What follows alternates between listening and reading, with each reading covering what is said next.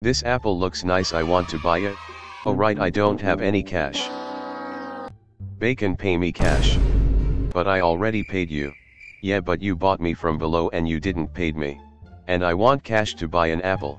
Why the heck do you want an apple? It doesn't matter now give me a paycheck. How much? 1500 cash per round. What that's a scam. You can ask your teammates to help you. Still you are scamming me. Okay I'm not gonna work then. Please come back. Are you ready to pay me? No I won't pay you. Okay I will pay you. But remember that I hate you so much. Pay me again. What but I don't have any cash. Then I am destroying myself. No comeback.